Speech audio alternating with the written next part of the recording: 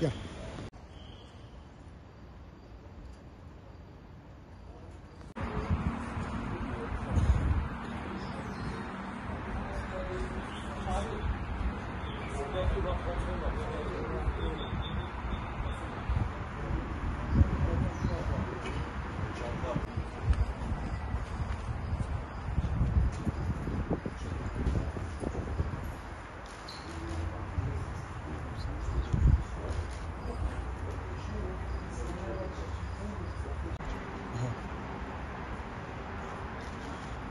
Tuncay Bey iyi akşamlar, hoş geldiniz. Çok büyük geçmiş olsun.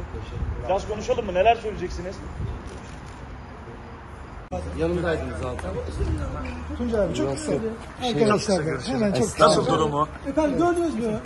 Beraber Geriye, de odadaydım geriye, zaten. Gayet iyi durumu.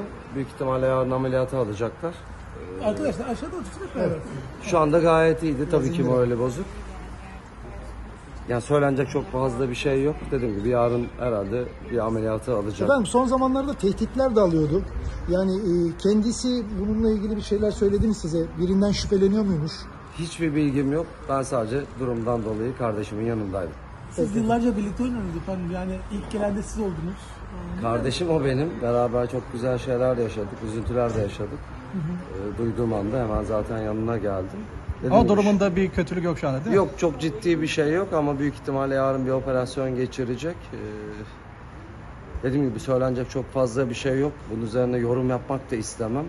Hem üzüntülüyüm hem de sinirliyim. Ee, o yüzden de e, şu an durumu gayet iyi. Biraz keyfi yerinde değil, morali de bozuk.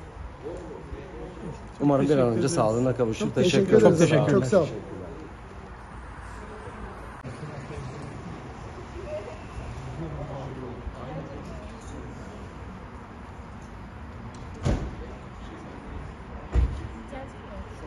すいません。